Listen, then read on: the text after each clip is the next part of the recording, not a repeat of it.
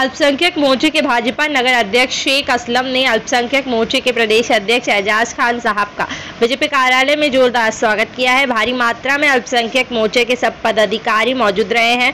पदाधिकारियों ने एजाज खान साहब का जोरदार स्वागत किया है। अल्पसंख्यकों के लिए जो भी योजनाएँ चल रही हैं और जो भी आ रही है, उनमें अवगत कराया गया। बोला कि आप अल्पसंख्यकों को घर जाकर योजनाओं के बारे में बताएँ तभी बीजेपी का वोट बैंक में सुधार आएगा। पदाधिकारियों ने शहनवाज खान इमरान खान भोपाली चाचा जुनेद खान अज्जू शेख हामिद कुरैशी अयाज भाई सोनू भाई वहीद भाई और भी बहुत से पदाधिकारी मौजूद रहे।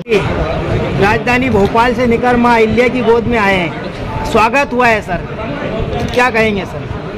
देखिए मैं भारतीय जनता पार्टी समस्त कार्यकर्ताओं का हमारे जिला अध्यक्ष जी का, यहाँ पर सीनियर लीडर है, उनका तेजस है। शुक्रिया अदा करता हूँ कि उन्होंने इतने देर तक बैठ कर मैं छोटे से कार्यकर्ता को महत्व किया है।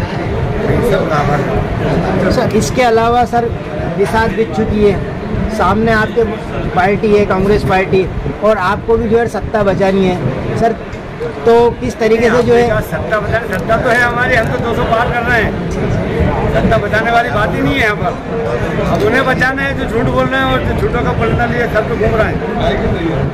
सर जिस तरीके से मध्य प्रदेश के अंदर हो या केंद्र सरकार के द्वारा जो योजनाएँ लाती है हर वर्ग को साधने का आपकी पार्टी के द्वारा प्रयास किया जाता है तो मध्य प्रदेश में भी क्या भारतीय जनता पार्टी की से विधानसभा में अल्पसंख्यक से प्रत्याशी देखने को मिलेंगे? देखिए हमारी जो है पार्टी कैडर वेल पार्टी है।